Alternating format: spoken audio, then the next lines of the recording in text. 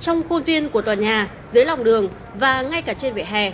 Tất cả mọi khoảng trống đều được dùng làm chỗ đỗ xe, giao dịch mua bán tất cả các loại thuốc, biến toàn bộ khu vực phía sau của tòa nhà Hapulico, phía đường Nguyễn Huy Tưởng, Thanh Xuân, Hà Nội thành một khu chợ vô cùng nhốn nháo.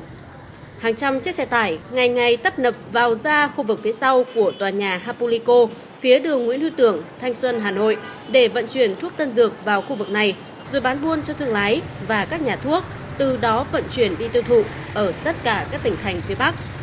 Đến gần trưa, lượng xe và người đổ về đây nhiều hơn, các xe lũ lượt ra vào, kẻ ra, người vào tấp nập. Các thùng chứa thuốc được đẩy la liệt khắp mọi nơi, khiến toàn bộ khu vực này chẳng khác nào một khu cảng chuyên dùng để bốc xếp hàng hóa.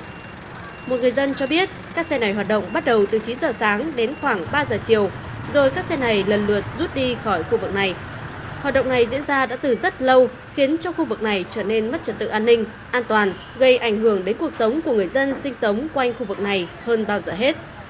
Được biết, các xe muốn vào hoạt động ở đây đều phải đăng ký trước với Ban Quản lý Tòa nhà Hapulico thuộc Công ty Cổ phần Đầu tư Bất động sản Hapulico. Thế nhưng việc này cũng rất khó khăn bởi khu vực này đã kín chỗ, một chủ xe cho biết. Cũng theo người này, mỗi tháng tất cả các xe ở đây đều phải đóng cho Ban Quản lý Tòa nhà từ 2 đến 3 triệu một tháng, tùy kích cỡ từng xe. Bên cạnh đó, mỗi khi ra vào đây, các xe này cũng phải đóng thêm 25.000 đồng cho một lượt ra vào. Như vậy, chỉ cần tính nhầm nhanh, thì người đứng ra tổ chức bãi xe này cũng thu được khoảng trên 1 tỷ đồng. Chưa kể việc trông giữ xe máy ra vào chợ thuốc này, việc bãi xe này hoạt động công khai đã từ rất lâu. Nhưng tại sao ngày ngày nó vẫn ngang nhiên hoạt động, bất chấp tất cả?